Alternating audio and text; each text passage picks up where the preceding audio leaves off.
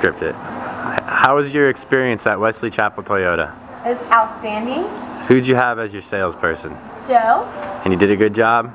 fabulous. Would you recommend it to your friends and family? Perfect.